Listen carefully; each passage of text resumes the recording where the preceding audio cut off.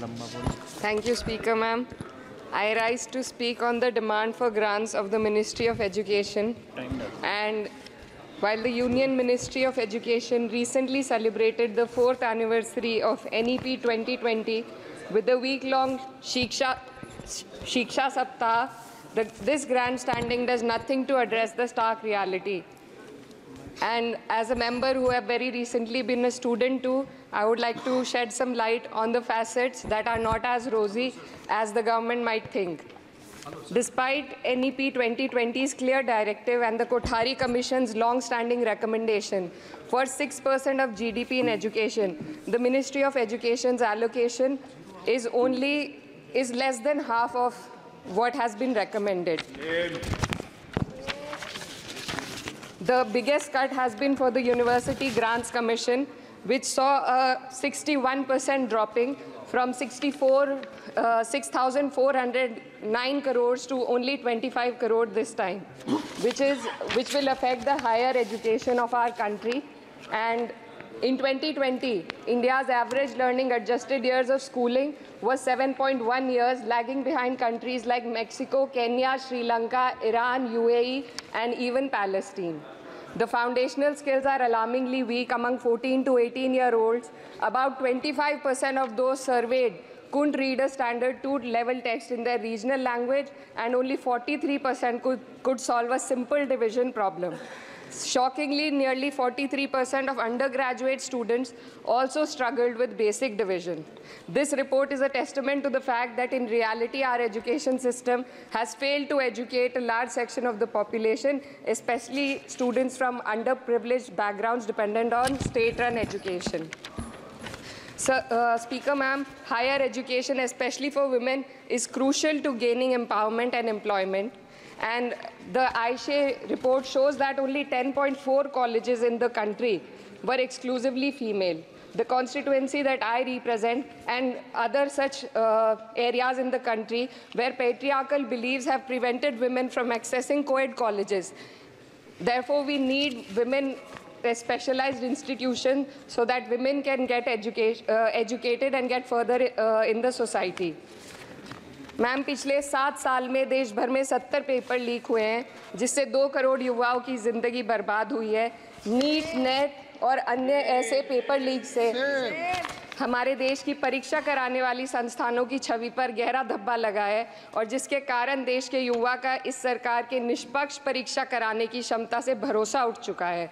इसी के इसी के संदर्भ में एनसीआरबी की जो स्टूडेंट सुसाइड रेट है, वो 7.6 हो गई है, ऐसा 2022 की रिपोर्ट में बताया गया था। Ma'am similarly the situation is for the NET and D U L L B entrance examination the abrupt cancellation and and the mismanagement of the N T N T A is a crucial issue that the government needs to live in to Ma'am, I would also like to bring to your attention the discrimination against minorities in this budget allocation, especially in the case of closure of the Maulana Azad Foundation. Despite the Prime Minister's vision of minorities progressing with Quran in one hand and computer in the other, this undermines efforts to boost educational opportunities. Uh, what we also need in today's time is quality STEM education as outlined by India's National Education Policy 2020, and it is crucial for fostering critical thinking and preparing our youth for 21st uh, century challenges. But, ma'am, only 18.4% schools have functional computer labs, and there's a significant gender gap in STEM enrollment, with only 28% of females compared to 36% males. While the government now promotes Digital India, it would do well to take a leaf from the Samajwadi Party's government under Akhilesh Yadavji, which began distributing free laptops to class 12 students in 2012, effectively combating computer illiteracy and bridging digital divide in rural Uttar Pradesh. Educational freedom index में भारत की स्थिति काफ़ी हद तक खराब है हमें निचले 30 परसेंट देशों में रखा गया है the इंटरट्वाइनिंग of political agendas with Indian higher education has version under the current government की historical and scientific facts are being erased from text books to advance a certain kind of narrative Mughal history is continuously distorted and er erased, but notably, Darwin's theory was removed from the class 9 and 10, uh, 10 syllabuses by the 21-22 academic year.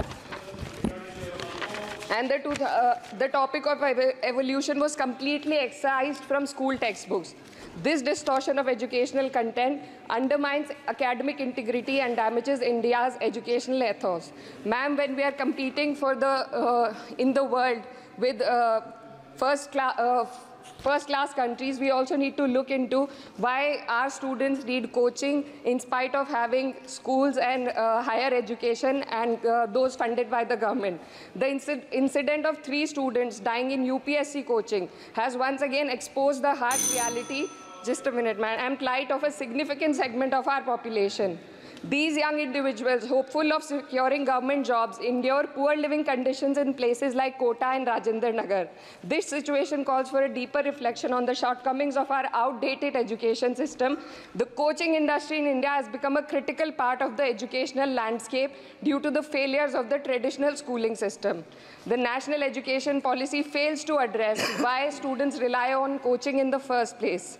So, ma'am, uh, I would like to end with certain demands to the minister for my constituency.